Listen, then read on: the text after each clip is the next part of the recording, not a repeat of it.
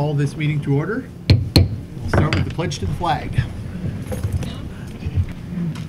I pledge allegiance to the flag of the United States of America and to the republic for which it stands, one nation, under God, indivisible, with liberty and justice for all. Roll call. Here? Is it me? Yep. Okay. Here. Sinkowitz? McGee? Here. Nady? Kazmecki? Cumbo? Here. Stawinski? Here. Dumont? Here. Richardson? Yance? Here. McGee? Here. Sweattick? Here. And Lloyd? Here. Actually, wait a second. What was, what was the one I just called out for? I called out for McGee, but I think I just called out for another one too. I don't think so. I don't think so. Yeah, did I? you're good. Oh, good. We're good? You just got called twice. I just- Mr. President, we had um, confirmation that um, Kaznecki and Sinkowitz are out of town, and Mr. Nagy is ill tonight. Do I hear a motion to excuse Kaznecki, Sinkowitz, and Nagy? Moved. Second. Motion Nedrow, second Cumbo. All in favor? Aye. Opposed? Motion carries. Uh, Water Board, do we have any Water Board absentees we need to address? No one comments. Nope. Okay. Um, Before we, uh, we go to call to the public, I just want to give everybody kind of an overview of what we're going to do here. We've got a couple presentations to do in terms of what laminar flow aeration is, what we're doing with it, um, where we're going. We're going to open up for questions. We'll definitely take questions from everybody. We'll have an open Q and A session, session afterwards. So um, there may be a lot of questions that you have that might, you might find get answered as we go through the presentation. So keep that in mind, but I'm going to make sure everybody gets a chance to ask questions, uh, go forward and do that. Um, Got two announcements, and then I will go to, actually, no, let me go to call to the public, then I'll do my announcements. So, um, I'm going to call to the public, yes. Oh, and um, we're doing this online, so let's get, we've got a portable mic we'll hand around here. Linda Champagne, 250 Oak Island. Just want to thank Ron Cumbo, Mike Stack, John Scott, and I think Sue Solomon for passing out the flyers to hundreds of homes the other day to get people here and informed about what's going on with the uh, aeration in the lakes. Anybody else in the first call to the public? Okay, seeing none at the moment, I'll close it, and believe me, we'll make sure we get all your questions answered before we're done. Um, I do have two quick announcements. Um, this, not actually on aeration, but also on the, on the issue of wa- water quality. We've had a couple of uh, presentations and discussions over the last couple of years on fracking, and a resident passed along. The movie Gasland Part Two is playing September uh, 30th, Tuesday, over at the Commerce Township Library at 5:30 PM. There's a couple little flyers over there, so um, I wanted to let folks know about that. That's about um, the issue of fracking, some of the things that have gone on with it. It's not a pro-fracking movie. Um, The second item I had was a letter we got from um, President Pro Tem Ed Sinkowitz, who is out of town today, but he did want to send along a note um, regarding lake matters, and I just wanted to read it to everybody now. To all present, generally the lake weeds seem to be less of a problem than past years. Possibly last winter and weather in general helped us on our war against aquatic weeds. Surface weeds like wild celery and lily pads have been ever increasing the last few years. These surface weeds are ideal for harvesting. Instead of our current practice, I feel that lakefront access and beaches need to be aggressively maintained by harvesting more frequently, thus being proactive. Residents should have total use and access to these beaches year-round. Paul, John, and I surveyed the lake in late August, and the lake was covered with wild celery. I believe it all went to seed before it could be harvested. I think a visual evaluation of the lake weeds by the administrator routinely would be valuable in coordinating additional harvesting when needed. Uh, Respectfully submitted, Edward Sinkowitz, Council President Pro Tem. So um, did want to chime in with that. All right. Um, Those were my two announcements. And now I think we're ready to proceed to laminar flow aeration presentations and discussion. Um, Purpose of the meeting is really to talk about what we're doing, what we hope it will do, how we're going to measure it. And I think I'll hand this over to Cliff Yance at this point, the water board chair. Okay, well, I just wanted to give people an idea of some of the background that the water board's done for, you know, to get to the point we're at today. And I got on the water board about six years ago, and the second meeting I was on, I said, why aren't we aerating the deep holes in the, in the lake? Uh, the next morning, I called the MDEQ, and they talked, got to the right person, which took a while, but uh, talked to the person, they said I was a fool. And, uh, and I think they said it a little more strongly than that. And you don't aerate lakes. And so, um, you know, we kind of let the issue go. And about three, four years ago, uh, John Scott kind of brought up the issue again. You know, why, why aren't we aerating the lake? And uh, we've spent hundreds of hours, uh, probably in the four to 600 hour kind of time frame with our time uh, as individuals to do our research on, you know, aeration and uh, the benefits and, you know, maybe the disadvantages and, and things like that. And so uh, John did a really good job of uh, finding contractors that were uh, available to give us presentations. We had them come in and give presentations similar to what we may see tonight about the technology and everything, and it just made us more uh, aware of the technology, but more adamant that we thought it was uh, a thing that we'd want to test in our in our lake. And so um, we eventually, you know, decided to uh, put out an RFP. We got the RFP, you know, a year ago, and we um, selected uh, uh, the pond guy to put in our system ultimately. And uh, so the system's in.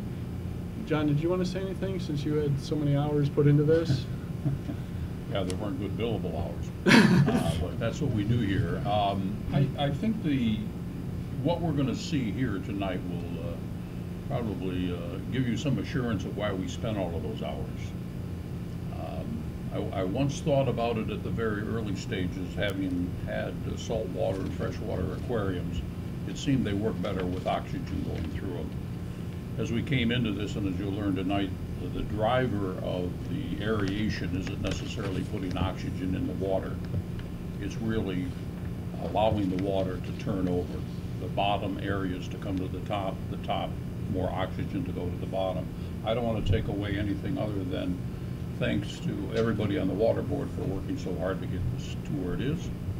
And I think you'll find out this is a very, very uh, advantageous thing we hope to do for our lakes. It's in 17 other lakes right now in the state, and it's under DEQ observation, so. Right. Back in uh, 2008, when I called the DEQ, there was zero in lakes. Uh, there was ponds.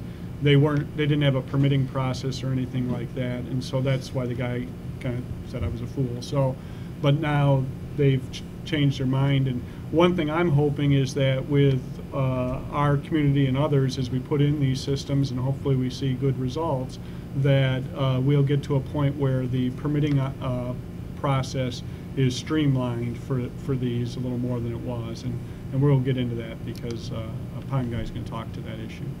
So, uh, so DEQ is getting on board on, on this and, and getting educated themselves.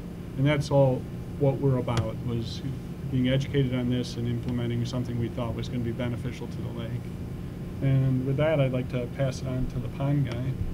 to So, so everybody, a couple, couple folks that'll be presenting during this meeting. Um, oh, sorry, Paul Hausler from Progressive AE. Um, he's our lake consultant, and uh, he'll be talking. And this is Dave Hattis from Pond Guy. He's going to talk a little bit about uh, aeration and what's what's going on. So, Paul, I think the floor and the microphone are yours. Dave. Oh, sorry, Dave. Yes, I know that. Okay, I'm Dave Hattis, uh, the service manager at the Pond Guy. And okay. Obviously, about, uh, what, eight, nine months ago, we were uh, contacted by Wolverine Lake to, uh, uh, you know, uh, get some quotes on an aeration system for the lake, for the Penny, Penny Lake arm of the lake. And we did a presentation, and they they decided to hire us to install the system. I just have a few slides here to kind of show you what we did, what we're planning on doing, to try to help everybody better understand you know, what's going on with it. So let me just run through this real quick and just, just kind of an update as to, as to what we've done. So, uh, we started out with the, uh, the permitting process once we had a signed contract. And, uh, uh, back in February, we did a, uh, a pre-application meeting with the DEQ. Uh, that was just to kind of, get them to familiarize their, themselves with the, with the project, that we're requesting. Um, after the application meeting, we submitted the permit on 228. And uh, took a, a little while to, to go through the process. Um, we, uh, you know, everyone was talk about that patient. A little bit later in the meeting. Right, everyone was patient. Uh, and uh, finally, on, on 5 7, uh, the DEQ sent out a 30 day public notice, which I'm sure uh, most or everyone have, should have received. And uh, finally, on uh, 722, we received a, an approved permit to go ahead and install the system. So uh, three days later, we were out here, we, uh, on 725, we began the installation. And uh, on uh, 729, the first system was operational. We have four units total with uh, 24 diffusers in the water that appear just like this. Weighted weighted tubing that's running from the diffuser uh, up to the shoreline, which ultimately lands at the compressors, which are in different locations on the shore. And uh, so uh, we did a stagger start on the systems just to kind of uh, help get the fish used to the, the water changes uh, slowly. So it took about a month to get all four systems uh, up and running. And uh, you know, at this time, everything is, is, is fully operational. Just an overview of the install. This is uh, some of the airline that we used in the cabinets, kind of just being delivered. And uh, the uh, we chose to put the power locations uh, up near the street uh, for quite a few reasons. Number one was the most accessible power, and keep everything close to the street. That way, when everybody's down by the lake trying to enjoy themselves, they don't hear the compressor down there. So uh, there are remote manifolds down by the water that uh, they house valves uh, so we can adjust the diffusers as needed. That's what the, the irrigation box is down by the water there. Uh, from the uh, uh, cabinet, compressor cabinet, uh, down to the water, uh, we just uh, we trenched in uh, inch and a half direct barrel airline, and uh, that that's what uh, transfers the air from the compressor uh, to the manifolds down by the water. So they're buried uh, approximately eight to ten inches underground. Uh, these are the compressor cabinets that are that are setting up on Wolverine Drive. They're all on uh, on Wolverine Drive. Uh, two of them are at the uh, boat launch at 350 Wolverine Drive. Uh, the next step was uh, placing the airline and diffusers. Uh, it was quite a bit of airline, about 18,000 feet. It just shows uh, the process of uh, unrolling the tubing and and setting in, in, in- into the water. So, and then we had the three or four finished systems in three different locations.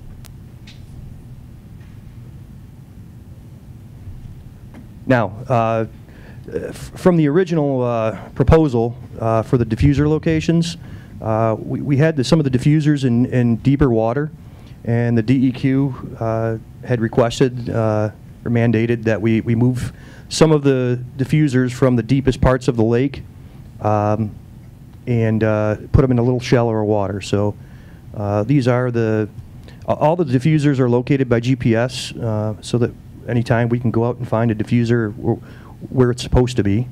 And uh, that, that seems to be working pretty, pretty well to keep track of everything. So.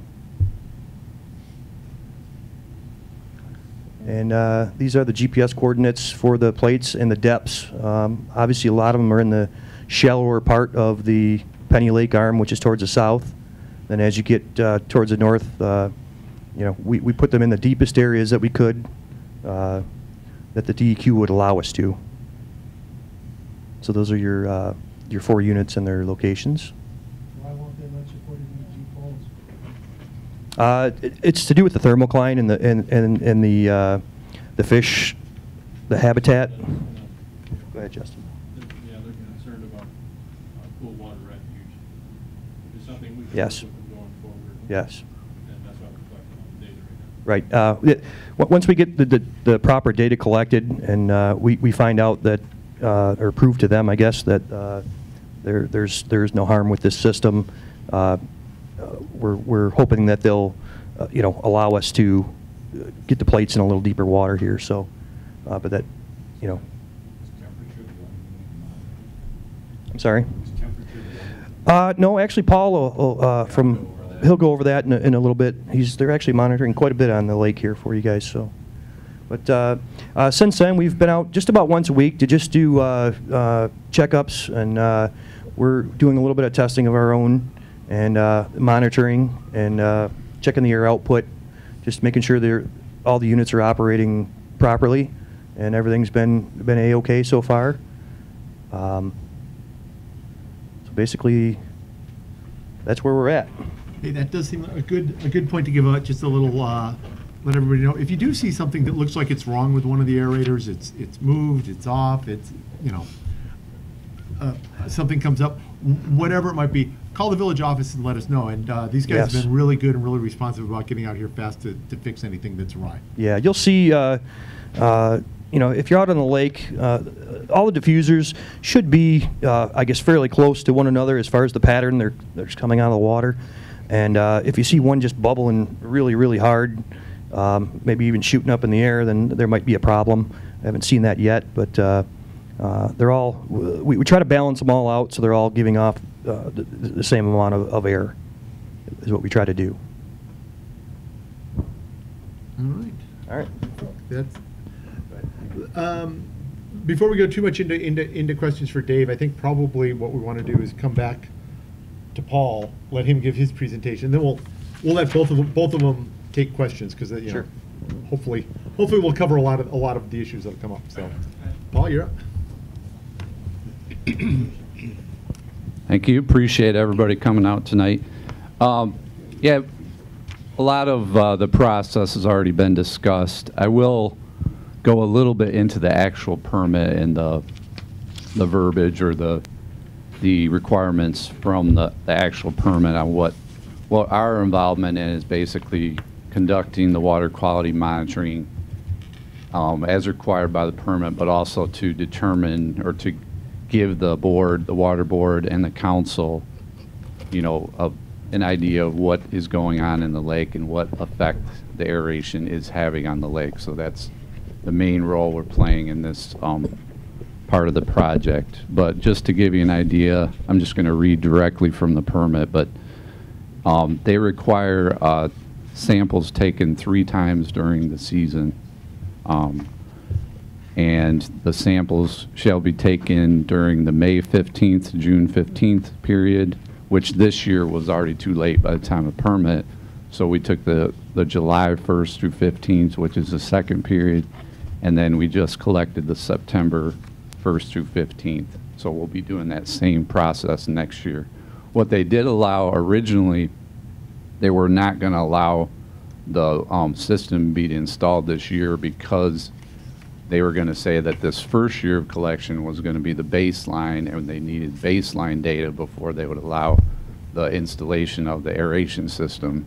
So what we did is we gave them data that we had from previous years. It wasn't all the parameters that they wanted, but it was sufficient enough that they were comfortable with that data. So that did help us this year to at least get the system installed this year, although it was late.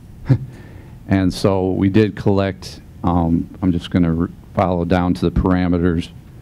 Water temperature, conductivity, pH, DO, dissolved oxygen, collected every two feet originally. We got them to change it to five feet because two feet was a little crazy.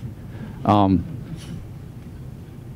and then we had basically three sites. Two of them are control, um, the deep holes out into the main part of the lake, and then the one aeration. There's a 40-foot hole in the aeration part of the lake, or the penny arm, and that's where we're taking the, the aeration samples.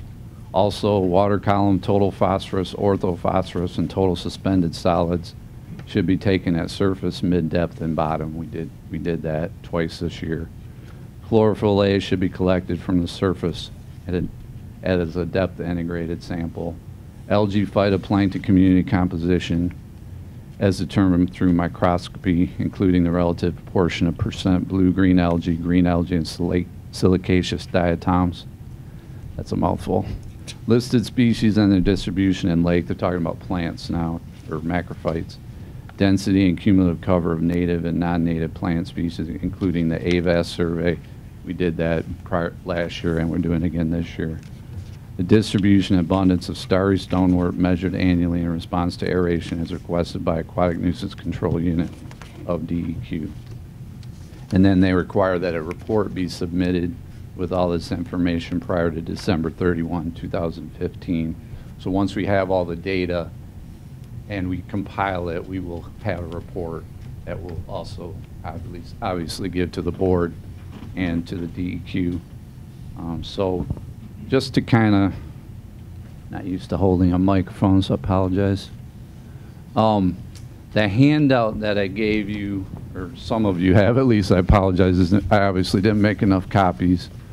Um, And if you didn't get a copy, some of this information is available on our website, which is at the top. It's www.michiganlakeinfo.com, just some of the general water quality information. But just kind of to give you an overview of lake water quality and what we're measuring. Basically, lakes are classified into three categories based on the enrichment or the amount of nutrients that have you have in a lake, which support not only plant growth, but also fish growth and any kind of organisms that are in the lake. Um, so basically what it is, is Wolverine Lake is considered a eutrophic lake, so it's kind of the, the third one down on the list there. And it does support abundant plant growth and fish growth as well. Uh, let me see. And then it talks about the different parameters and how they apply. But I'm not going to go into that in great detail, but what I did want to emphasize, there's three basic parameters when you're talking about um, classifying lakes. And those parameters are the clarity of the water, which is measured with a Secchi disc, and it's called Secchi transparency. Um, Some of you might be familiar with that. A lot, a lot of um, lakes do their own Secchi transparency measurements. I think, are you doing that, Cliff, or? We've done it in the past, okay.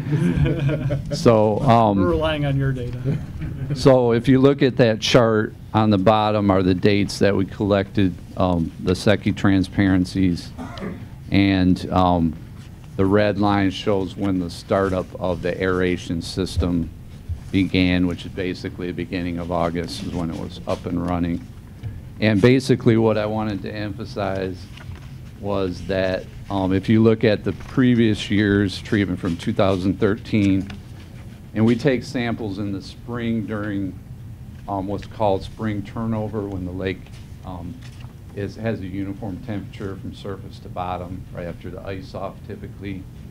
And then we take it again later in the summer, once the lake is stratified, meaning that the warmer water is at the surface and the cooler water is in the deeper part, and the chemicals in the water do not mix, so it separates the two parts of the lake, and that's what they were alluding to the thermocline.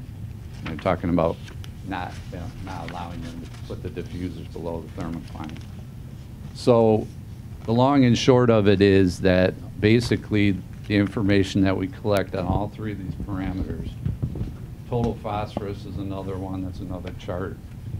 Um, Phosphorus is the nutrient which is important in aquatic systems because it's generally called the limiting nutrient.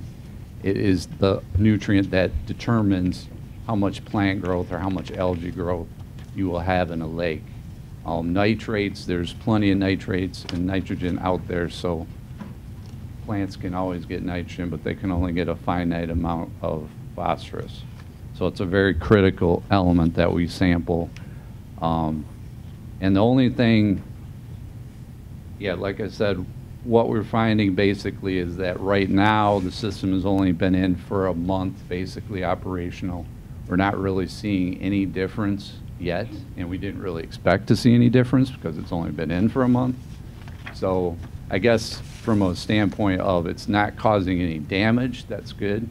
But um, we'll have to wait probably till next year and we'll have more data, a whole season's worth of data, and the system will have been in for a season.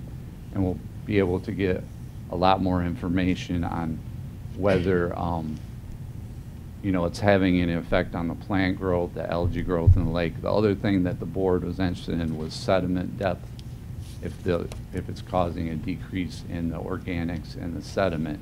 And so we'll be measuring that at the end of the, we have, uh, if you go to the last page of that handout, we, um, pass the, yeah, on the very back.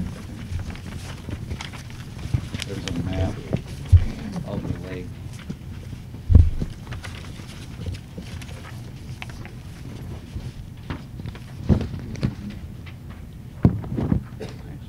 Oh, yeah, it is on there. So basically, there's a company called Navico Biobase, which we have a, a subscription through, and we have a depth finder that um, allows us to collect a lot of data while we're out there. And um, part of that data is the sediment thickness. Um, it measures that um, across the lake, and we also can create depth contours with that, and that's what we did with this, the data that we collected. Because the original map didn't show that deep hole down in the very end of Penny Arm, it just showed it as shallow. So obviously, there is a deep hole there, if you guys have ever been down there. Um, The other thing is, uh, by measuring the sediment um, depth before the system was installed, and then we'll be doing it again at the end of next season, after it had been in for a complete season, we'll be able to see if there is any effect on the sediment depth or the organic layer in the sediment to see if it is reducing that layer. That was one of the main goals of the aeration system installation, so. That's basically what's being done. Um, it's kind of complex, but it's also fairly simple. Um, I don't know if there's any questions. I presented kind of a lot of stuff here. First, uh, is it gonna run all winter? No, it's on, um, I think the shutdown is November. Is it, what is it? November 30th. November 30, so yeah, it- it's not run over the ice, and part of that is because of the hazard of having open spots on the ice, so. The other question is, um, has this system been in place in other lakes where you have had a chance to collect data to see historically? Has it worked? I, no, I haven't personally collected data. There is data out there from other lakes that the, the DEQ has. It's public information. We are going to be looking at that also. Is it working for that? Uh, I really can't answer that, I mean, for them, but I think in certain aspects it is. Um, so it, it's probably on an individual lake basis, so. Hey, Paul, Paul, before we open up to, to too many, too many questions here, um, I- I've got kind of one, one question for you, then we'll go to questions for the board and the council, and then we'll open it back up Oh, to. okay, to sorry. every- I- every- I jumped the gun there, We sorry. also have the future, kind of the future, and you're, we'd like you, uh, Paul to give kind of an overview of the management of the lake while we're here, even though it's Okay. an Yep. aeration. E- Exactly what I was gonna ask, is if you could give us a few minutes to tell everyone, you know, this is one of the things we're doing on the lake. What are some of the other things that we're doing and how does this fit? There is one other thing that I think we should bring up also. A lot of people aren't familiar with aeration, what it's about, what it's going to achieve, and what we're trying to achieve. It might be a good idea to give a brief overview of the whole process and why we're doing it, and what our goals are in doing it. I don't know if I'm the best person to do that, Or- but Or somebody, I think. somebody I can- can. Yeah, we can do it from the water. board. We can Perhaps we should ask who Paul is and what his role is. I don't think that was actually addressed. That might be helpful too. Okay, well, I- yeah, my name is Paul Hausler. I'm an aquatic biologist with a company called Progressive AE, and we're basically hired by the council and the board to uh, oversee the aquatic plant control program on the lake and to also conduct water quality sampling and do some of the educational aspects of the program, the lake, the the ecological part of the, the lake, so. that's, that's my role, I guess. Okay, so let's, let's, let's do it in this order. Let's go back up here, and I'll go to Cliff, actually, uh, Cliff and John, to talk a little bit about aeration. Okay. Why we thought it was a good idea, why we, why we decided to proceed with it. Then I'll come back to Paul, ask Okay. Paul to talk a little bit about what we're doing overall on the lake, some of the other things that we do on the lake, and then we'll go to questions up here, then we'll go to questions out there. So, Well, maybe uh, we can really, I I can summate it in, in a way that I was thinking about it when I first got involved, and I know when Cliff and I were talking about it. Um, I think there are three words that maybe pull it together. Clarity. How do you increase the clarity of a lake? Because a lake has suspended items in it. It could be algae, it could be suspended uh, materials that are in the lake. I- I'm certainly, uh, Paul can address that. So clarity is an issue that we are looking to address. Uh, Another issue that we are looking to address was nutrient loads. In other words, when Paul was telling about the type of lake that we are on, or has been created that we live on, and do remember, it's a created lake. It's impounded, there's a dam, so most of our lake was uplands, grasses, and other farm levels of uh, land that was flooded. And when you flood land like that, which includes the topsoils and the nutrients, you bring it into the lake, and that causes a lake to basically have higher nutrient loads than lakes that are fed by streams or fed by rivers, and they have a constant moving uh, of water moving through it. An example of that would be, I suppose, the connector between Lake St. Clair, the St. Clair River, and Lake Erie. Uh, We cannot really spawn walleye. We can't do things that those lakes can do because our water doesn't turn over as much. So between clarity and nutrient load, an item that is important, and that's what I think I just talked about, was turnover. How many times does our lake have the ability to be fed and refed with um, uh, lower nutrient loads or getting rid of those nutrient loads and turning over? I, Paul, the, the number that I think I'm correct on is that our lake, if you took a, a a pint of water, and I, this is gonna be a terrible example, I'm not a scientist, but if you took a pint of water and ask yourself, how often do you change that water? How often is it turning over into a fresher load of water? I think right now our lake is something in, what is it, every sixty-five days? Somewhere around sixty days. If this aeration system works and works properly, we might expect to see our lake turn over every two days? Yeah, uh, one and a half times. Every one and a half. So, so we're moving the lake just by bubbling it. And remember, we're trying to create movement of water. Yeah, if you, if you look at, if you look at this. Yeah. The idea of the bubbles isn't, the, the amount of air that we're getting into the system from the compressors is minuscule compared to the amount of oxygen we're getting into the system by creating this laminar flow. So the bubbles, they cause, they're, they're, you know, small bubbles, they cause all this friction that helps move the water that is, you know, around those bubbles to the surface, and then you get this flow that goes like this. And that is the, that's the laminar. Uh, Laminar means it's non-turbulent. And so you have this non-turbulent flow of water. And what that does is at the top of the lake, it's oxygenated be, naturally because of the atmosphere. You- know, the, and the, uh, the oxygen exchange with the atmosphere. And then you're drawing that water down into the lower levels of the lake and drawing up the, the less oxygenated water at the bottom. And so the whole idea with a, with a laminar flow uh, aeration system is to get that circulation going. And so that turnover that John's talking about and that they've designed into the system is that it was designed for, we're hoping for like one turnover, uh, basically a day.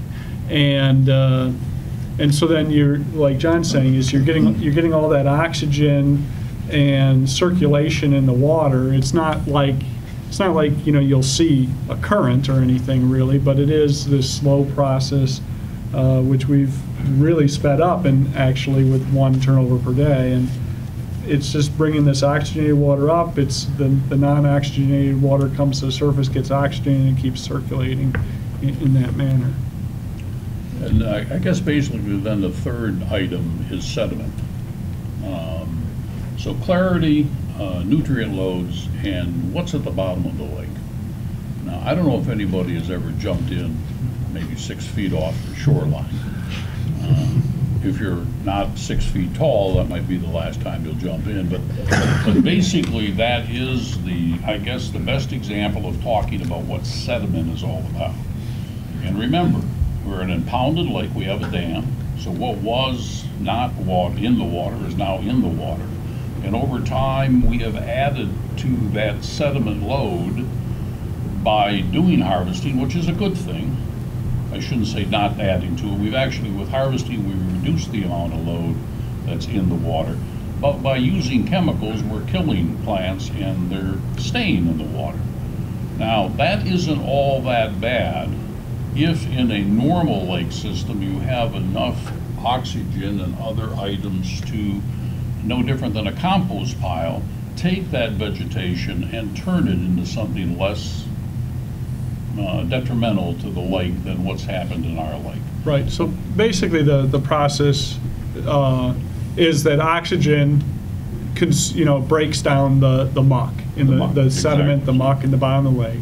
And uh, it's no different than when you put a match to a stack of leaves and you're, you know, in the fall, if you do that, which you're not supposed to, but. uh, Please don't. I'm not condoning that, but I'm just saying, if you threw matches on leaves, they burn, right? So they consume, and what they do in that process, I think everybody pretty much knows this, they consume oxygen and they make carbon dioxide, you know, and, and they burn. They, they they burn up. The same process is what we're hoping happens to the sediment that's in our lake, is that if you have enough oxygen in a lake or a pond, that that same process happens on a much much slower process than when you you know burn burn leaves or whatever. But we also the leaf litter we get a lot of leaf litter in our lake. So whether you're not supposed to blow your leaves or put your put your grass in the lake but it but it happens naturally even if no one does it artificially because you know the wind blows and we can't catch every leaf that does so we have o- over the last you know 60 years of this lake being around and actually more than that probably 80 years now. 80 years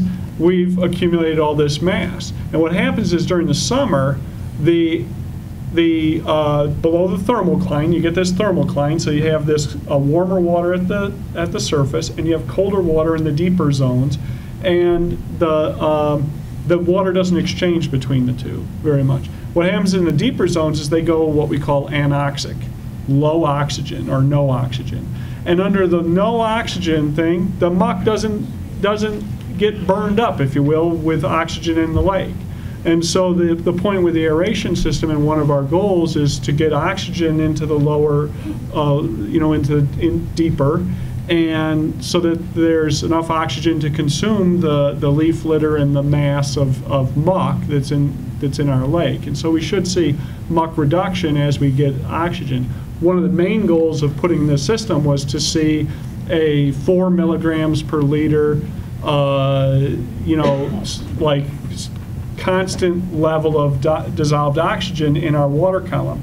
Typically, what we get is maybe the first eight to 10 feet, you'll have, you know, you'll start off like a normal level for oxygen, fully oxygenated water to have what, 10 milligrams? I mean, you can get a little higher than Uh, that, but. It depends on the, it's all tied to the temperature of the water, but in the middle of summer when the water's, say, seventy-five to eighty degrees, the highest you're gonna get is around eight to nine. Right.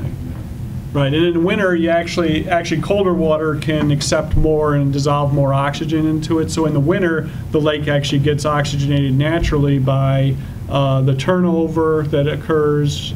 Uh, We get one in the fall and you get one in the spring, and that, that helps oxygenate a little bit. And then just that colder water does absorb more oxygen. But the idea is to get more oxygen there, get a, get a more uniform profile. If you looked at our profile, you would have, uh, you know, eight- maybe eight milligrams per liter near the surface, the first two, three feet, and then it slowly just decreases down and uh, goes to zero or near zero, like less than one milligram per liter, at around uh, maybe eight to 10 to. to It's to- usually, by, towards the end of the summer, it's usually around 18 to 20 feet. Okay, that's even deeper than I was thinking. But the, the bottom line is in the deep holes, there's no oxygen, basically. And the fish can't live in no oxygen. They need about four, three. Yeah, well, it depends on, again, on the. Species and the- stuff. The DEQ standard is five parts per million.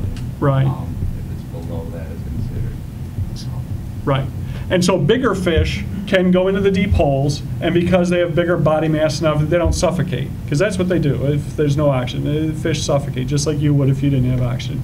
And so uh, they can go down there and they can spend a little bit of time, and different species can spend more different time. But um, the idea was to get more oxygen in the lake. It, it helps this muck reduction because it'll naturally burn up the, the uh, carbon that's in, in the water uh, or in the sediment. And then also, we wanted a kind of more evenly distributed oxygen profile, so we didn't have this, you know, high oxygen here, and if this is low oxygen, you know, kind of profile with depth. If you thought depth on kind of on a chart, you would you would see a profile that looks something like that, you know. And we want to see more of a profile that that slow, more slowly kind of dies off, and and gives the fish more area and more depth that they can uh, survive in for longer periods of time, and it provides the oxygen that consumes the muck. So we're, those are the kind of things we're hoping. The other thing is, under anoxic conditions, low oxygen conditions, uh, the sediment that has a lot of phosphorus stored up, a plant leaf litter has around one and a half percent phosphorus levels, if I'm not mistaken, and uh, your body has about that much. That's what living organisms have about that much phosphorus level, one and a half percent. That's that's uh, that's w- over 10,000 uh, milligrams per liter of uh, of phosphorus. It's a lot of phosphorus compared to the levels we get in our lake, which are in the 20 to 30 to maybe 60, uh, you know, milligrams, uh, or no, parts per, part, parts per billion. So that's a thousand times less. Um, so you, you have a lot of resource there. Well, under anoxic conditions, the low oxygen conditions, phosphorus is uh, released by the the uh, anaerobic bacteria, the non the non-oxygen liking bacteria. They actually release phosphorus into the water column. Then that becomes available for algae and uh, the aquatic uh, the aquatic plants, and um, and then, like Paul said, that's the rate limiting factor on the plant growth. They have plenty of nitrate, and there's nothing we can do about the nitrate level in some respects, but it's the phosphorus that controls how much plant mass and algae mass you, you get in some respects. And so the, under oxygenated conditions, phosphorus precipitates as phosphate, right? Okay, as phosphate. So, um, so instead of having all summer long, if this system works, having phosphorus released to spur on uh, algae growth and plant growth, you hope that you're fixing what they call fixing, which means precipitating out of the water the phosphorus so that it's not then available for the um, the the algae and then any plant that isn't deep rooting. Uh, because deep rooting plants will still be able to get the phosphorus that's in the actual sediments. But we're looking, we have starry stonewort, a lot of starry stonewort. It's this stuff that causes the mats uh, that I'm sure most people that have ever been on the lake have seen these dense mats of stuff.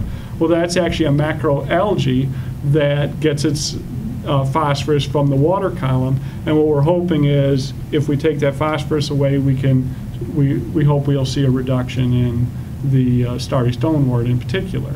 And uh, so that's some of the, some of the things we were looking for was, a was a, a more even distribution of, uh, of oxygen in the lake, which helps, in our opinion, helps the fish and, and the aquatic uh, situation. It should help with the uh, degradation or the breakdown of the sediment, the muck, and we hope to see muck reduction.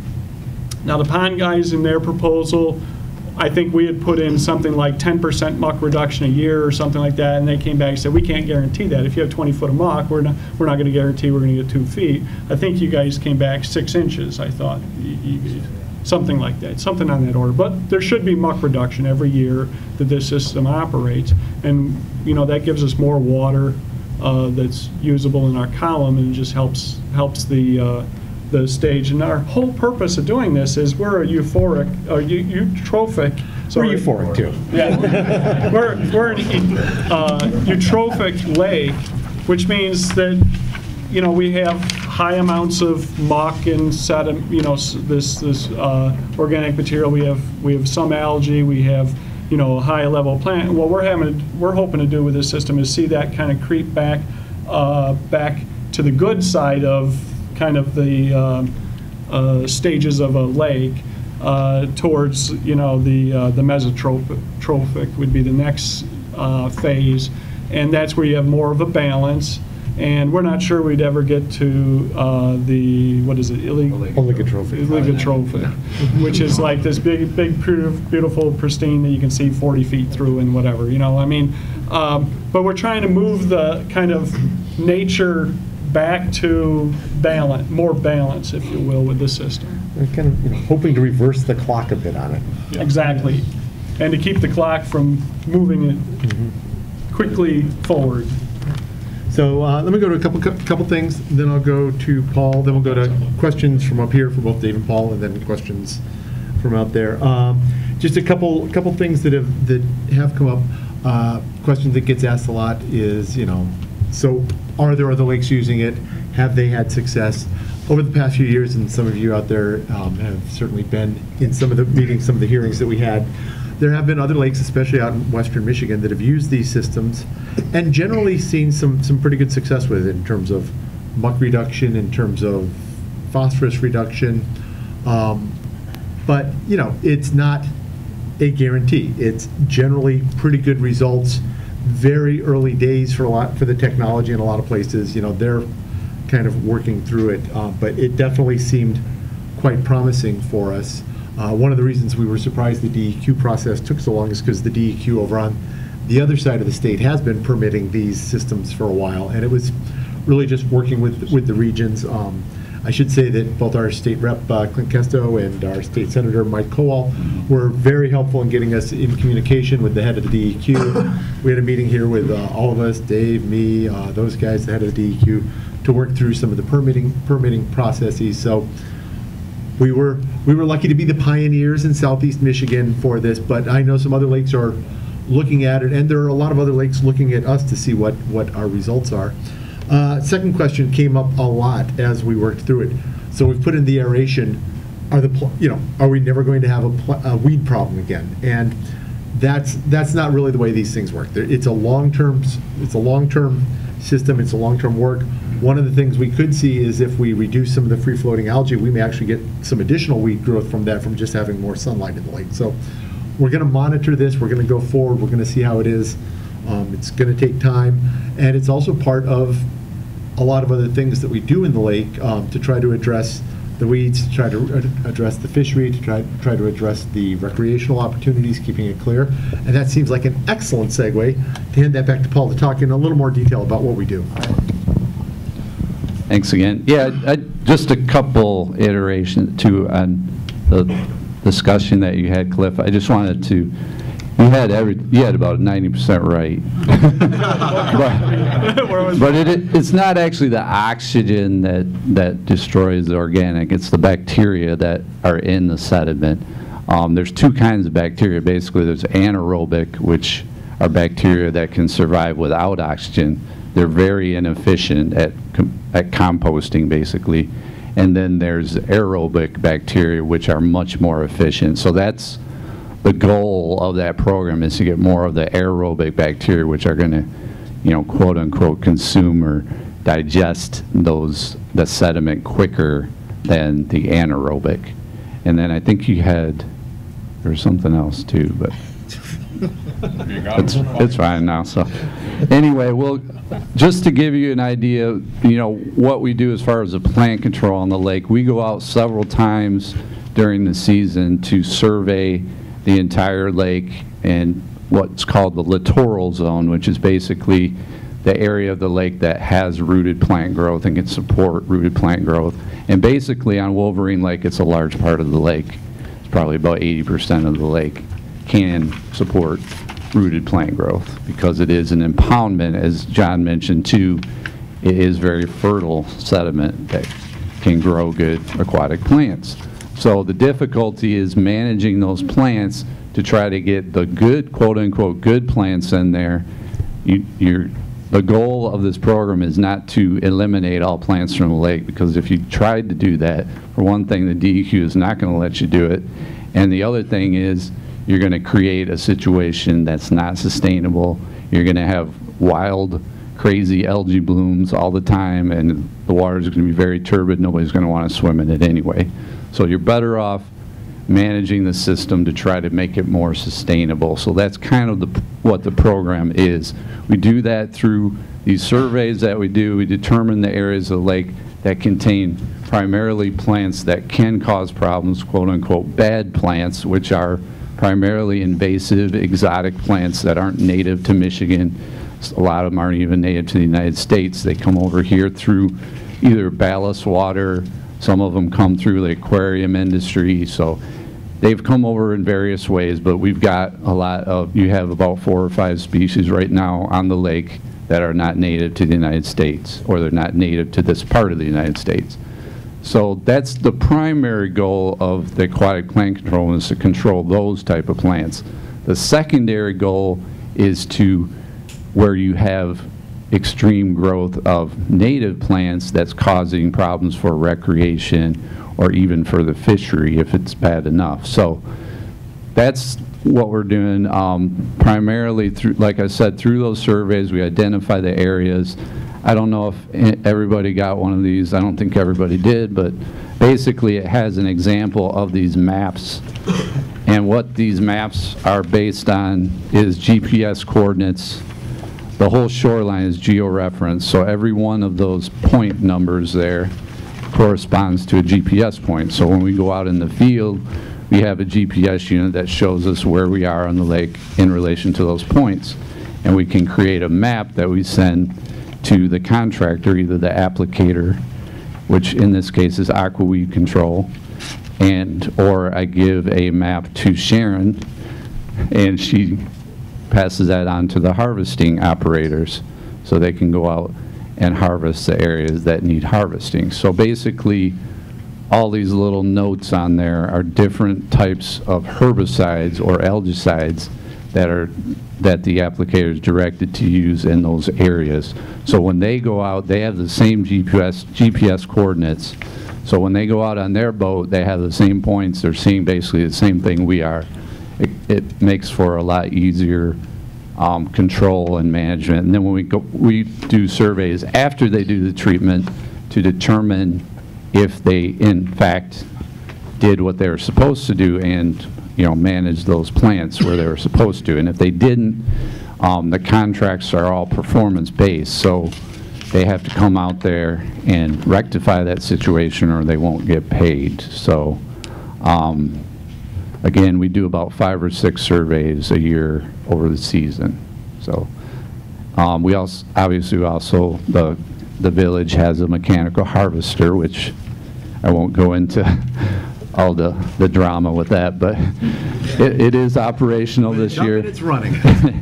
And um, we were able, to- or the, the harvesters were able to provide a lot of uh, relief to areas of the lake where harvesting was more beneficial than herbicides. And a little bit to what John alluded to also about, you know, when you treat plants, they die and then they go to the bottom. Well, that is true, but it also is true that if you time it right and you treat them when they're early in their growth stage, you can get a lot more biomass, or there'll be a lot less biomass produced by that plant. If you were just to let that plant grow throughout the season, it would grow to an apex and then die. So you get, you know, 80% more biomass if you were to let that plant grow all season long. So there is a benefit to treating in that respect. However, the mechanical harvesting does remove biomass, so it slows that aging process that all lakes go through. And that's part of, you know, what we're talking about too, is the natural aging of a lake.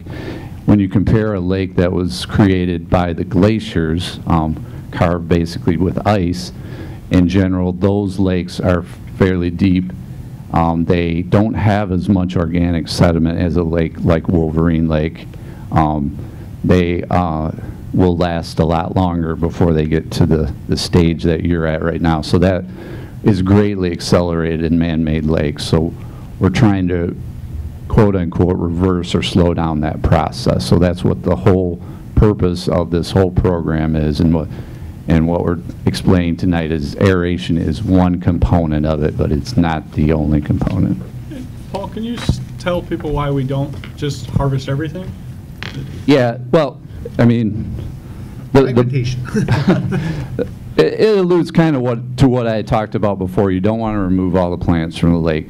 Plants provide a lot of beneficial um, factors to lakes. They, they keep the sediment in place. Um, If you were to take out all the plants, sediment would just be stirred up all over the place, and the lake would be very turbid. Um, And you get a lot of algae growth from all the suspended sediment, which has nutrients in it. And so it's, it's a never-ending process if you get to that point. So what we're doing basically with our harvester is just getting the areas where there's navigational issues. It's not so much, um, we're going out, and if there's any plant growth anyway, we're going to take it out because all plant growth is bad plant growth. Obviously, the lake is a primary fish, fishing lake also. Um, We want to support the fishing in the lake, and a big part of fishing is providing habitat. Um, the, a lot of the plants provide the basis of food, of growth in the lake or the primary production in the lake. They, um, are places where the aquatic insects live on those plants. Um, the, the more diversity you have in the plants in the lake, the shapes and the sizes of the leaves, that type of thing, the more diverse um, of the mac, or macroinvertebrates or the insects on those plants, and the more diverse your fishery is going, to the healthier your fishery is going to be. So we're trying to promote more diversity in the lake, which is much more sustainable than just trying to have, if you were, again, to go in and try to take everything out, you would open the door for these invasives to take over even worse than they are. So it's always a balancing act. You're trying to create a sustainable, ecological, sound environment on the lake. And I think, I think Cliff was also referring to the fact that some species, especially Eurasian milfoil, which we've Yeah. had a problem with over time, they spread through fragmentation. So uh, boat propellers going through them, harvesters going through them, things that break them up into little pieces. What you don't get is a dead Eurasian milfoil plant. What you actually get are 100 new Eurasian milfoil plants. So, so um, it's important to pick and choose the places where we harvest and what species we harvest. And, and Paul provides, as he alluded to, a, a map uh, similar to these. These are treatment maps, but he also uh, supplies those, as he said, Yeah, there's a couple more to Sharon, to share with the, uh, the harvester guys. We also bought a GPS unit that is very similar. It's the, probably the upgrade of, of the one he has on his boat, so he's jealous of us.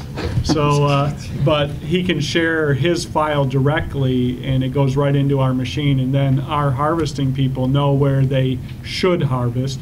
And uh, the opposite of that is they don't go where they're not supposed to harvest so that they don't spread Eurasian milfoil. And uh, so it's a, it's a, you know, the, the system is uh, an entire kind of package, if you will, of, of lake management. It's not just one, one, one thing or not, another. I was just saying, we might make a comment, another thing your water board did over the last two and a half years or so with great help from the uh, office upstairs, and particularly Tabitha, we've established uh, a site, an enhanced site, so you can actually go to wolverinelake.com and then go into the water board, and you will find a number of different graphs and other items that we've been putting up on that particular site. But on that site, we also have um, given you access to identification charts, so you actually know what kind of weeds are in the lake, or what kind of plants. Let me make it. uh, a different word. Don't be so Don't- don't- judgmental. yeah, Don't be so judgmental, that's true. Uh, So um, we would appreciate if you do get a chance to go in there, we always like feedback at the water board. in terms of uh, how well the site is serving your needs. Uh, uh, Temperature inversion and other charts are there.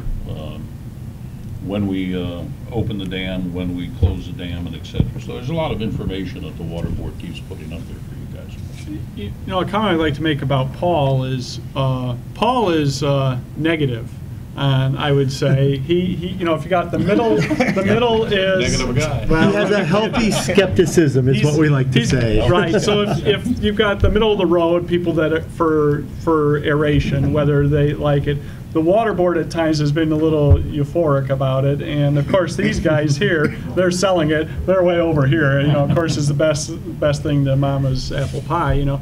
Paul is actually kind of on the negative, uh, skeptical side of, of it, and we actually appreciate that. I try to keep an open mind. I know. So we actually appreciate that because there's other consultants that, you know, we could have working for us right now that might have been, you know, on this side. So we like that, I actually like that Paul is a little skeptical. He's like, show me, prove me scientifically. He's a scientist, he's a limnologist, so, uh, you know, aquatic biologist. So he, he's like, prove it to me. So actually, I just wanted to bring that out because, you know, uh, he's our kind of conscience, if you will, on is this thing really working? He's collecting the data, so we're hoping to prove him uh, uh, to, to get rid of some of his skepticism and move him towards, you know, kind of more neutral, if you will, or, or, or maybe positive.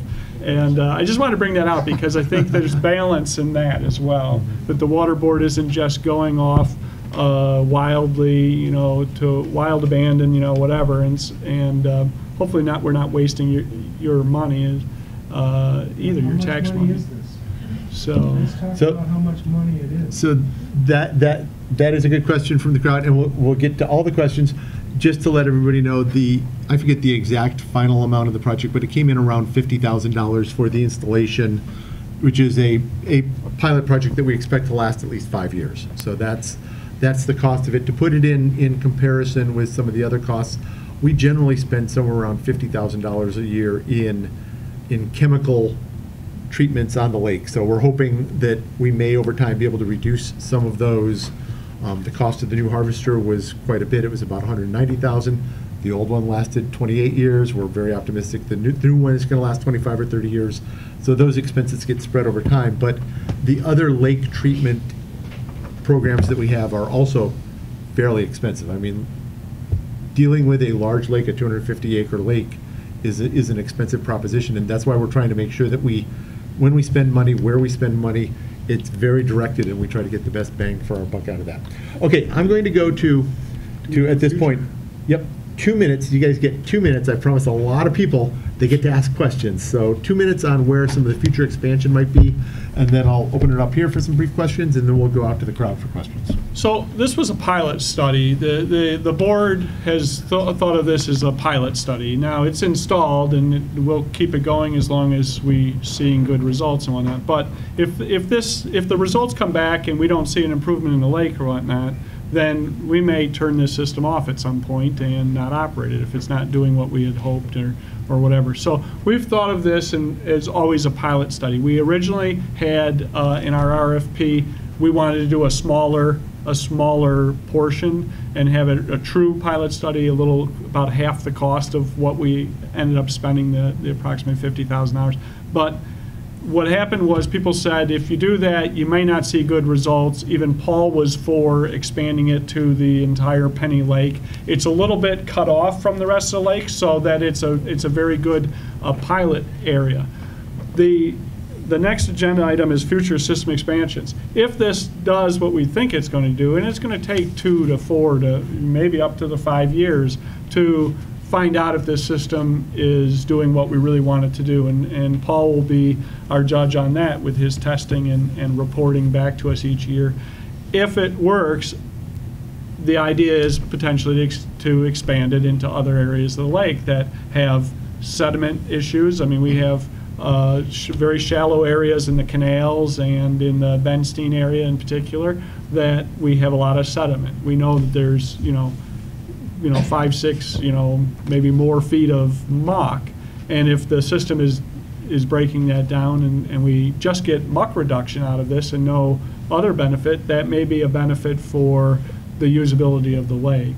And um, so that'll be something we're going to be evaluating over the next few years, but the idea is maybe we would, we would go to the council and, and look for your input as well from the village, whether, you know, spending another fifty thousand to put another portion of a system in for Wolverine Lake, would that be something that would be advantageous or not, or something that we would want to consider? And so that's kind of our future, future for the lay, for this idea is to potentially expand it. Yeah, and I think it's safe to say that we need to see a success with this before we would go to any other expansions. Exactly.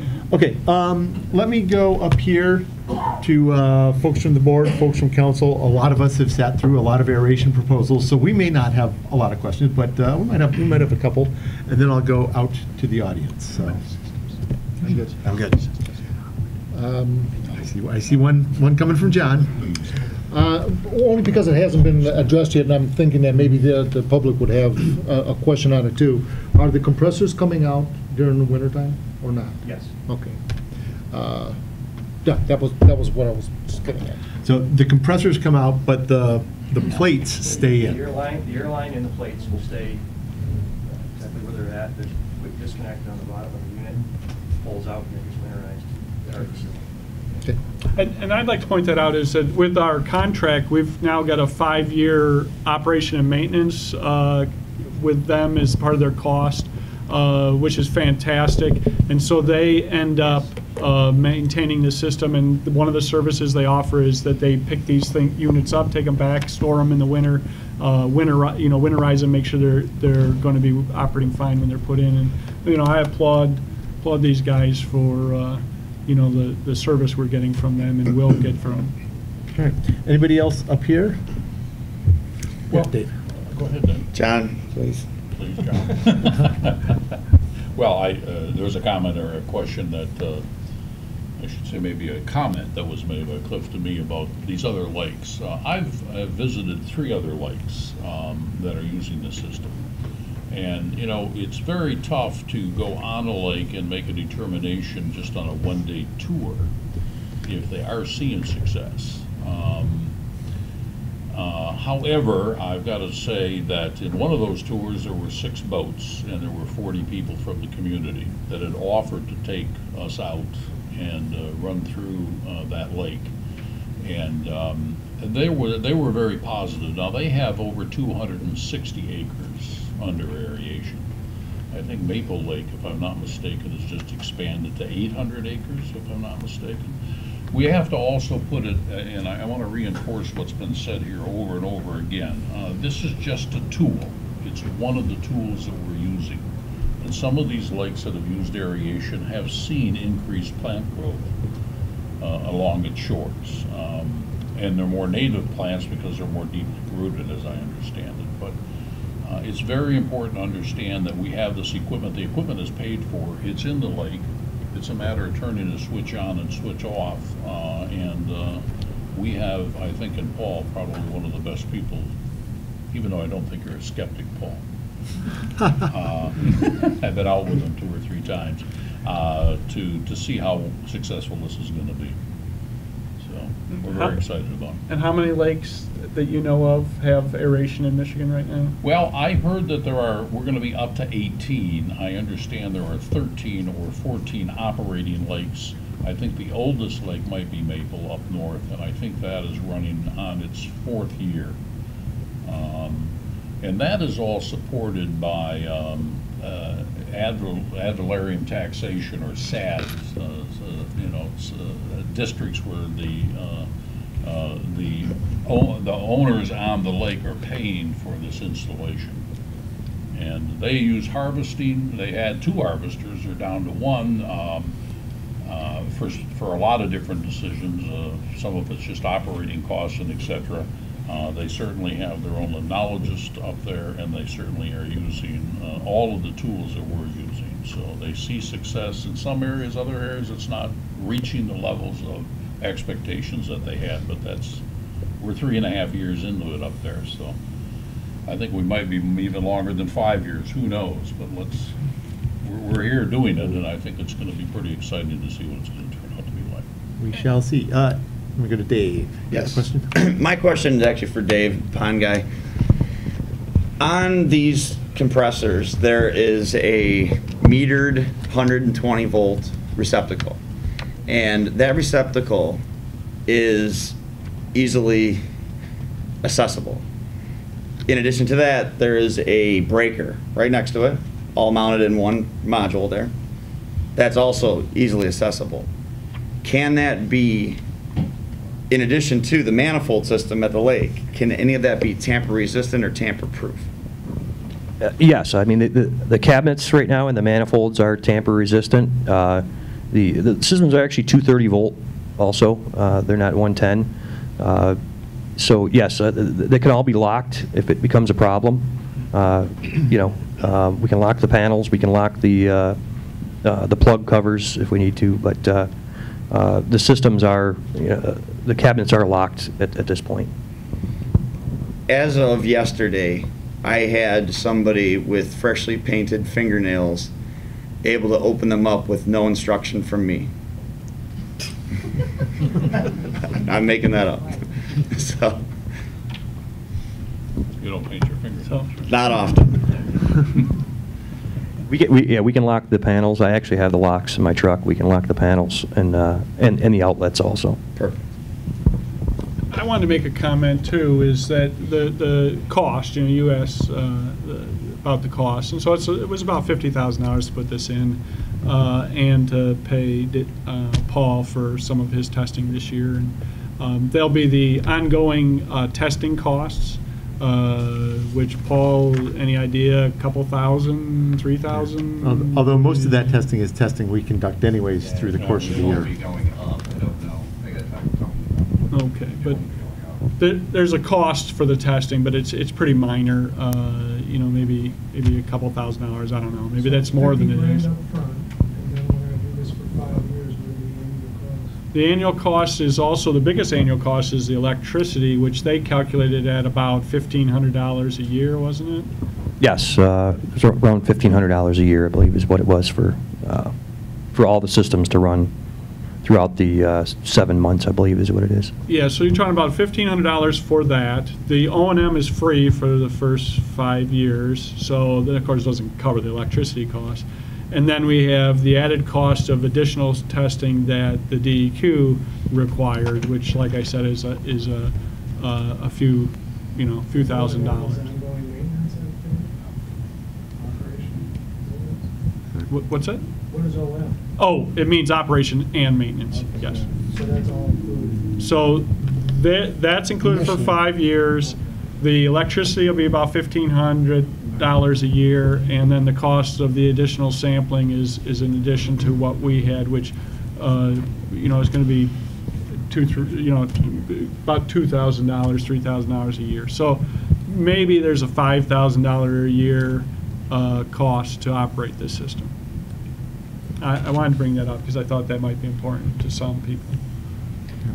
I'd like to address the, uh, the decision-making that council went through, at least, uh, at least I did, in regards to the fiduciary concerns that are, I'm inevitable that they're gonna come up. I mean, I don't think we decided to spend money on a long shot or something that is a pie in the sky. I mean, this is based in science. I'm a believer in it. I mean, it's, it's a test pi, it's a pilot program. We'll see how it pans out over the five-year period. But, uh, it's, it's money well spent uh, to, uh, uh, in my view, to address a problem that is severe, probably more severe than Paul or, or Cliff, or anyone, it really lets on. I mean, in a lot of ways, the, with, with this lack of oxygen in these deep pools, I, I feel like that the lake is in a slow dying process. So I think this condition had to be addressed, and I think this is a, I, I am a believer in aeration. I think it's gonna, I think, I'm, I believe it's going to work, and, uh, for the amount of money that we spent, it wasn't just like throwing money at, uh, uh, just hoping that things are going to work out. It was well thought through. It's based in, I think, you know, verifiable science and so on. And uh, uh, I think, in at the end of the day, at the end of the five-year period, I think we're all going to be pretty pretty pleased. So, not that's going to alleviate all your financial concerns, because no one wants to spend money recklessly, especially in, in today's environment. But I don't think uh, council did that. Okay, anybody else up here, or I will uh, open up, open up the Q and A. Okay, so what I'm going to do is I will, I'll try to work through the crowd, sort of front to back. We've got a portable microphone here. Um, When I call on you, just give us your name and address, ask your question, and it can be to Dave, it can be to Paul, it can be to us, and we'll, we'll try to do the best we can to address it. So, let me look up here in the front row. Yeah, there, we've got somebody here. So let's hand the portable mic over there. Uh, Steve and Judy Geppert, uh, 738 Wolverine Drive. My question is, is, is there been, and this goes to Dave, I guess, has there been any problem in other lakes, or even with this one so far, it's got a lot of boats, of anchors pulling these things up, and what do you do if an anchor gets a hold of a line inadvertently and lugs it up, uh, it damage? Uh, uh, We have not had uh, any problems in the past, and I I haven't heard of any problems from anybody else. Uh, If it does happen, uh, re- please report it to the, to the village. We'll get out there and, and, and, you know, do what we need to do to take care of it. But, you know, I I don't see it as being a, a- a major issue. Obviously, you know, we all have to be conscious that there, that there are these diffusers, which, you know, are, there's 25 of them in the, I'm sorry, 24 of them in the lake, and there's a lot of airline there. The, the airline sinks right to the bottom. It's, it's probably nestled into the settlement by now. But, you know, just be conscious that there are diffusers there. If you see that bubble of water coming up, you know, uh, a little bit of common sense will go a long ways as far as that goes. Looking at a diffuser, you'll know the sites are, the lines. I'm sorry? You'll know where the airlines would be. Oh, yes. Yeah, the, the the airline, uh, it, it all runs from the diffuser to the, the, the west side to, to Wolverine Drive. So, um, if, if there's a diffuser, you could, uh, you know, pretty much point west, uh, west, southwest, and, you know, for the most part, you'll, you'll know the locations of the diffusers, so, or, or the airline. Thank you. All right, other questions, front row? Let's go to the next row. Uh, Jean Evans, I live on Oak Island, so I'm under the bridge and around where there's quite a bit of sediment. Um, I'm, my, I guess maybe it's a stupid question, but can you run these on a solar panel? Uh, th- There are solar panel, solar panel systems available, but uh, for a a large lake like this, uh, uh, the the cost and the uh, amount of panels that you would need to run them, uh, these systems are are very efficient. Uh, The the- the amount of of money that they cost to run, uh, you know, comparably speaking, to what you would invest into a solar system, uh, it it definitely would be, you know, not worth to do it. We have two, and I have to tell you, they work, uh, or they're working. Uh, over, my neighbor has some, and, you know, we're really thinking about adding one at our place, and I know the neighbor to the other side is as well. Um, and we were just wondering if we could do this with a solar panel, or if we really have to hook it into the electric line as well. Right. The the electric is definitely going to be uh, your most consistent and and your best option at this point. Okay, thank you. Sure. Other folks in the second row? I think we've got uh, a couple down here. Hi, my name is Wes Fogg and Sally Fogg. We live at 2103 Helmsford, just down from Scott. We live on the canal. Um, Is there any consideration to dredge these canals? I, I mean, the homeowners would probably be willing to go in on it or even, I mean, they did it up on, um, oh, what's the lake up there, the man-made lake just north of us? They did it, my neighbors, some friends of Lake mine. Sherwood? Sherwood did it. Sherwood did it. It ended up being like 2,500 bucks a house. And I went through that canal before they did it and after they did it, and there was a heck of a difference. I, I think it's something we got to look at. When we, when we took a look at potential test sites for the aeration, one of the places that, um, you know, really had consideration was the canals, to see if we could, you know, it's a different sort of aeration system. You're really talking about a long, a long hose with, you know, a lot, of a lot of little bit. But the canals really need some sort of help. When we looked at it overall, we thought we were going to get the best, the best look at whether or not it worked in our sort of, sort of lake and what extent by doing Penny Lake. But yeah, I agree. It- It's, we need to find something to help the canals because the canals, year by year, are getting worse. I, I, They're almost undammed. they're, they're getting there, yeah. I agree. So, so, so the answer is, no, we don't have a plan to, to dredge them right away, but I think we'd be open to, to looking at it, talking about it, talking about if we do get muck reduction quickly here, maybe that's, that's a way of getting in there, because most of what's in the canals really is muck. I mean, it's from, from there, and if this is, this is a way of doing it in place that costs less. The, the problem with dredging projects, when we've looked at them for, for various things, is getting those spoils hauled away and getting them, getting a place to accept them is something that 30 or 40 years ago was pretty straightforward and pretty easy, and it's, it's, it's a pretty high environmental hurdle to cross in this state these days, so. It's if- permits. Yeah. It's permits, they pump the stuff onshore into those bags and they haul them away. It, it, but it's expensive. Well, I'm telling you, I know friends that live on Sherwood that did it, and it wasn't that expensive. It Uh, was like twenty-five hundred bucks a home, and I've talked to my neighbors, and everybody'd be willing to spend twenty-five hundred bucks to. You know what, I think we should find out what Lake Sherwood did, and, and, yeah, if it's, if it's less so than I had heard when, I mean, it, it's been probably eight or 10 years since I looked at dredging options. They were all at the time represented as fairly, fairly expensive. I think that might be I'm not money well spent. anybody to pay for it, but the people on. What about Yeah. a special assessment district? Yeah, no, that, I think that's what he's talking about would is, a- as a special. Well, no, I mean, I think that's, assessment. yeah. Yeah, that's, that's definitely the mechanism to to do it, and we could, we could, we could easily do that, if folks want to do it. Why we Yeah. have uh, him contact his friends and have them contact us, and we'll have. Come on back to the water board and, Yeah. and, uh, let's, you know, take a look at it. Yeah, John, I know some, I know some companies that do that, do that work. Um, Oh, name and address. Russ Collins, 836 Wolverine Drive. Wh- How deep is our thermocline? Because I'm wondering if we had to put all these things above the thermocline, how effective is it actually going to be to deal with the muck in the deep holes? So, so let me go to, to Paul first the on that, oxygen, and then, yeah. uh, then maybe Dave, so. um, Do I need to grab a mic? Yeah, I think we need a mic for you. Everybody in the room can hear you, but everybody online who might look at it later. Oh, you can stand at that mic if you want, because we're gonna get questions. Oh, okay. Basically, uh, when we were out in September taking samples, the thermocline was around 18 to 20 feet. Um, And I'd say that's pretty standard for a typical summer. Um, Earlier in the season, say July, it may be around 12 feet to 15 feet, and it it goes down as you get the warmer days, and they push the thermocline down lower, so. What, what was the question specifically, or?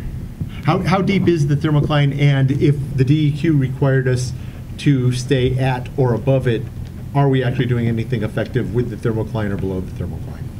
Well, base, yeah. We, well, based on, again, I, the- with the caveat that the system was only in place for probably less than a month before it was, it wasn't fully operational for even a month when we took the samples. Um, It did not um, mix the water below the thermocline, but with the diffuser set at 18 feet, you probably wouldn't expect that anyway. Um, It probably would be, we'll know more at the end of next season, once we've gone through a whole season, because basically when they put it in, the thermocline was set. I mean, it was there already. If they go in in April or early May and put it in, the thermocline is not set yet, so it may mix the water enough to keep it from setting up, or it, you know, it could do any, it could push it further, deeper. We don't really know what it's going to do. Um, I, I would suggest that the previous data from last year too is probably what they used to set that, that parameter of 18 feet, so. Uh, Dave, anything to add to that? Yeah, I guess the only thing I would want to add to that is, uh, uh, you're talking about, you know, the thermocline and trying to have the plates in deeper water. Yes, that's, that is i- the ideal, but uh, re- remember, you're still, uh, any oxygen, you're still uh, helping that aerobic bacteria to eat nutrients. So, you know, even in the shallower areas, you're still going to have that oxygen, right, it's still going to be effective, um, is- it would be our, our take on that. Right. We're hoping to convince the DEQ to allow us to put it deeper. Uh, We're, we were not happy about that provision in the permit at all, because the, the purpose is to go in the deep holes uh, so that you get that whole column. And to go back to their point of, well, we're worried about you know, the messing with the thermal thermocline and the temperatures in the lake. I don't know if we have great data, but I know when we were getting presentations for these systems, they had talked about a two-degree difference uh, prior, prior to uh, um, doing the aeration, and then after doing the aeration, there was a two-degree difference. So it did warm up the, the bottom of the lake, but not enough to affect the species that we have in our lake kind of thing, if that's what we would get. Uh, You know, if you're dealing with a, a lake that had trout or something that are very sensitive to cold water or something, we have all warm water uh, fish, not cold water fish, basically. Is that not pretty accurate? And uh, that we're hoping to convince the DEQ that they, they have erred on the conservative side and need to allow us to, to put the diffusers deeper eventually. Still talking about that. We're still, We're still jury's working with still out. Good. Um, Anybody else that row? Uh, Yeah.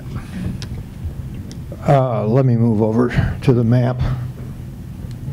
Ray Williams, 2352 Ventura Drive.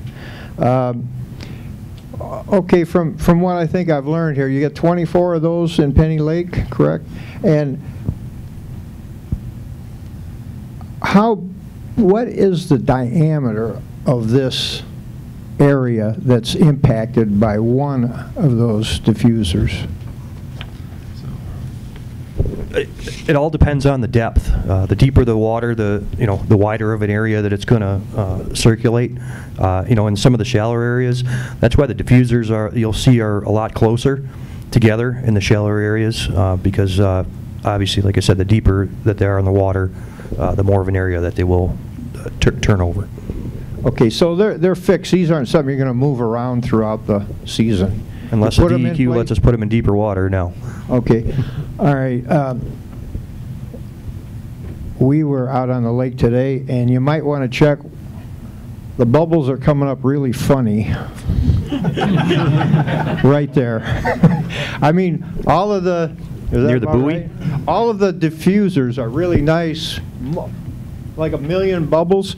There's one there, there's not, there's not a million, there's, but the bubbles are way bigger than the other ones where they're really small. Sure. Right about, right about there. We'll, we'll, we'll check into that in our, in our weekly, weekly checkup. I appreciate that information. No, And that's exactly the sort of thing that you Yes. should let the Uh, Yeah. village know so that they take. Well, we went by, we were saying, boy, that, that one don't look right. I also think it's the water board, we need to come up with a better So, monitoring system. one more quick question. So we bought this stuff, right? We're not leasing why it? that one's bubbling. We bought it. That's correct. We looked into Okay. leasing, and the leasing, the, uh, these guys didn't really have a leasing program and weren't that interested in doing one, as far as I understood. And one of the other consultants wanted to do one, but I think uh, one of the bids we got a a preliminary was uh, probably triple the cost, uh, you know, leasing it, and it was a 12-year deal, so it locked us in for 12 years, and in the end, it would have been like double, triple the cost. So it- the- we did a balancing act of, you know, spending the least amount of money, getting the biggest bang for our buck, and, you know, I mean, we're very conscious of not wasting the taxpayers, as we are all taxpayers in this village as well, money, so we, we did, we did look and kind of contemplate that idea. As I um, recall too, the depth regarding the, the deeper, the more effective the diffusers are. I think that was one of the reasons that we didn't go with the, as I remember, the canals as, as a potential pilot area because. It was by the difficult because of they're, it- they're they're so shallow and they really need a different, a different sort The of system. effectiveness has been very limited where it's been tried. Right. And again, back to your question, the system, the whole, you know, this is idealistic, obviously, drawings and things, and the whole, you know, thing that I do with my hands. Uh, But uh, they, they, their system was scientifically based, uh, the, the placement of those diffusers and the depth, you know, depth. Now, the DEQ did mess with it a little bit because they would have been in deeper holes, but the system was designed to get that one turnover per day of water in Penny, in the whole Penny Lake arm. And so the system was designed to do that. So it may be a little less effective since some of the diffusers aren't quite in the deepest holes. We may be getting a little less than, than optimal turnover. But even at that, going from 60 to 65 days uh, of- to get one turnover, we're getting, uh, you know, even if we're getting one every two days instead of one every day, we're, we're getting a, a heck of a lot of turnover. So there was some sci, there's science all backed up in, into uh, these, you know, these very uh, idealized drawings, if you will. So, but that was the, the fact. So, believe it or not, those little bit of bubbles in the depths that they're at or whatnot are actually having an effect that, that hopefully will get, you know, like I said, turnovers at least once every two days, if not more, so. Hey, Cliff, can I add something? I just remembered what I was going to tell you before. The the reason they're, when uh, Cliff alluded to the, that they're basically just mixing the water. It's not injecting air into the water. Um, And that's why they're called diffusers. What happens is when the, when the water moves and it comes to the surface, diffusion occurs between the atmosphere and the water. That's why they're called diffusers. It's not that, they're not injecting air in there, it's, it's diffusion, so. Actually, the air is the the vehicle to get the, Right. get the water to It's to a, move. it's a. It's kind of like a big paddle. yep. It's just moving the water, yep. And there's my idealized.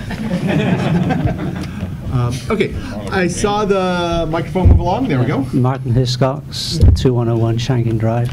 Question for Paul. Can you explain these three charts with regards to mean control and what are the Yes. units of measure?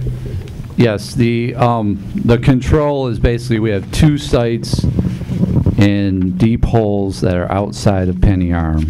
So we're collecting data on the same parameters as we are in the Penny Arm, the deep hole out there. Those are, in those bar charts, the one set of data is the mean or average of those two sites, so that's why it's called the mean control.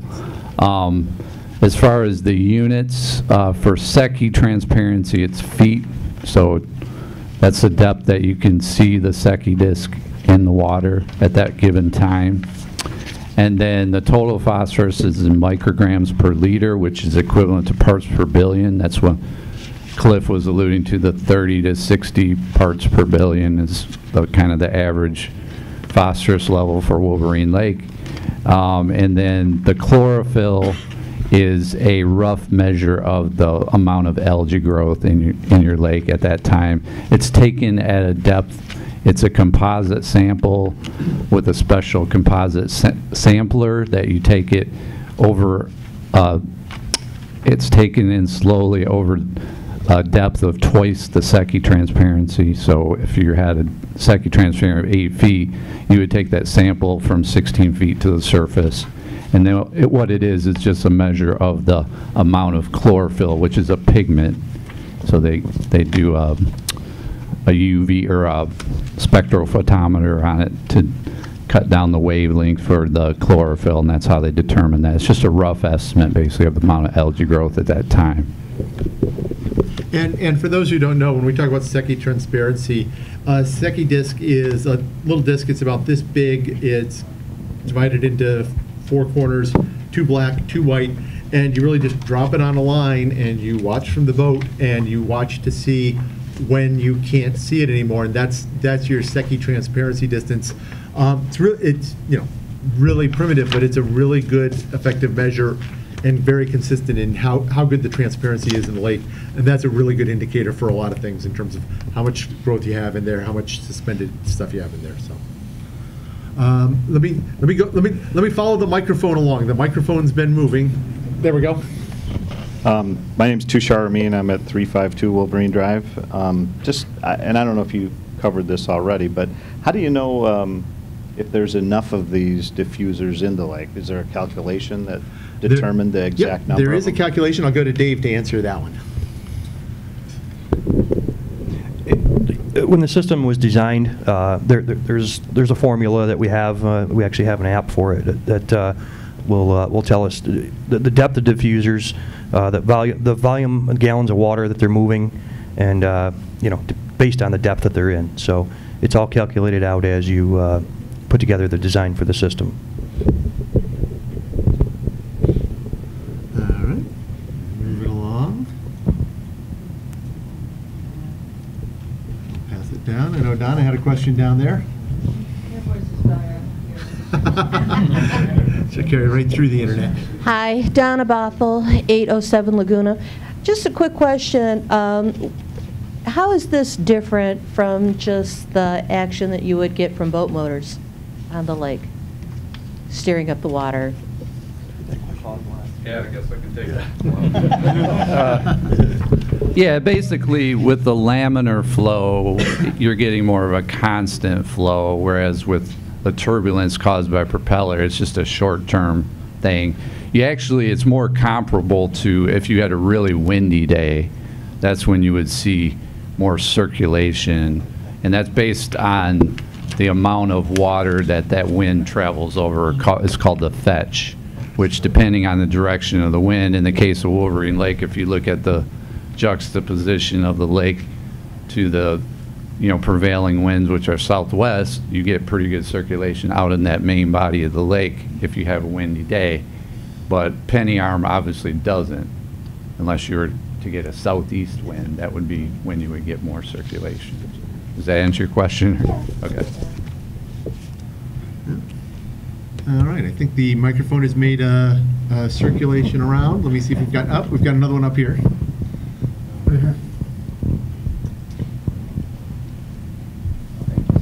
Edward Kale, 2340 Ventura Drive. Uh, Has the uh, turning on the old well pump to keep water flowing through the canal been iced? It's not operational. It's not up and running yet, no. Were you going to get it running? It, it, I know we've made progress on it. I'm not sure exactly It's where. almost It's, complete. it's very close to being running. Obviously, we're towards the end of this year, but, you know, starting next spring, we should be able to have that up, up and running. One of the things that we did as part of the design was to make sure that it brings oxygenated air in, so it's gonna, you know, it just goes over some riffles and it goes, and it goes in. Y- I, I would like to, I would like to bring great hope that that's going to clear out the canals. I, I, you know, it might help a little. I don't think it's It's really not gonna gonna make a big hurt, difference. But it's one step to the canals. It, That's yeah, fine. it, it, it can't hurt, it can't hurt, and it may help. And, and that's been a thing, that's been a, uh, you know, it's one of our agenda items even is, is the uh, well oxygenation, if you will. And Yes. so it's been something we've been discussing for probably up to upwards of two years. Yeah. And uh, something we want to get implemented, and it's just going a little slower. Well, that was, again, that was one of the permit issues, I think, for the DEQ to allow us to be able to convert that well over, so. But it's a good, Took u- it's a good that. use of that well. We, you know, it, this summer, I don't think we had a lot of augmentation, but, because the lake level was naturally uh, up at a us- very usable level, we do watch the level very closely. And, uh, but, you know, the year before, uh, last year, we, we augmented most of the summer, I think. And so, instead of using the, uh, the Mallow Beach uh, well that's behind Mallow Beach and the canal behind the beach, uh, the idea would be to use Helmsford instead uh, and get the flow through the It might- canals. It might help to flush a bit, yeah. Yeah, flush it up. So we're hoping that that would help a lot. But honestly, it's not going to be, as, as John is pointing out, it's not going to be as effective as if we could get a, a true aeration system in there. And uh, again, we didn't, we, we talked, uh, you know, uh, about potentially putting a system in the canals because they, they probably could have the greatest benefit of, of uh, a muck reduction, if you will. But we didn't want to start there as a pilot, as, as he pointed out, because if it didn't work real well, then people would be negative on, on the whole pilot study, and we wouldn't, we wouldn't, you'd probably be here telling us not to waste money to expand it. We're hoping in th- this system, we have good results, and you'll, you know, we'll have the money and, and you'll allow us to expand the system. Yeah, we, I think we wanted to pose a tough but representative problem, and uh, Penny Lake is certainly a tough problem, but it's pretty representative of some of the, some of the problems that we have in other areas of the lake, too. Um, Other folks with questions? Got one back there. John Kosky, 2059 Newport Court. Uh, I was going to ask about the canal as well, but I have um, one other question, well, two actually, real quick. One, is uh, the information provided today going to be put on the web, or is it already on the web? If it isn't already up, I think we can get it up there. Okay, and then, um, are you going to display the data in, in graph form? In other words, we'll be able to see the progress from like the data from this year to the next year and so forth, so it kind of gives us an idea of what kind of progress is going? Yeah, we, we should be compiling those stats and they should compile, you know, build over time. And we'll get that up on the, up on the website. All right. Anybody else? What's the service life of these compressors? How long have they been? Question was, what's the service life of the compressors? Yeah, the- the compressors, uh, obviously depending on uh, how well they're taken care of, and since we're taking care of them, they should be taken care of well, right? Uh, So, uh, you know, five to 15 years is is what a a motor will last, uh, you know, just depending on how well it's taken care of. So, uh, low maintenance cost on these, on these units. What, what does a typical um, motor cost if you had to replace it, would you say? Uh, With labor, you're probably talking around $850, $850 to replace one compressor. Yeah, so if we had to replace the, the, the motors in the four compressor units, it's not a huge cost, I guess is what he's saying. If it was a thousand dollars, even that's four thousand dollars. If we had to do that every five years at the low end of the, the life of these motors, that's, again, it's, it's a cost, I understand, it chews into the, the village's budget, but it's not astronomical. I pay the electric bill, you put one in front of my house all the time. We can talk You know, you you know, Dave, Dave will- Dave, Dave, Dave, Dave, Dave will talk to you. Um, it is something that we've talked about. I've talked with, with other folks, some of my neighbors too, because, um, where I am, we're, we're just outside of the test area, and when I saw where we were putting well, I was like, oh, man, just move that one over. Um, but I, I, I think it is, you know, as a village, as a village entity, we're gonna wait, we're gonna see what the, what the results are. But if people are interested in doing it, or we have some neighbors that want to, want to put it in an area, um, I'm sure Dave will be, uh, will be happy to talk installation and cost with you. They're pretty reasonable in a small area, um, it, the cost is not that bad. I- could pay the dredge machine. Well, if the, you know, given the cost that you had there, I think that's, that's worth taking another look at too. five years ago, so sure. Well, everything's more, but, but, you know, that's, that, that's less than I had heard it would cost, so. Um, Other questions?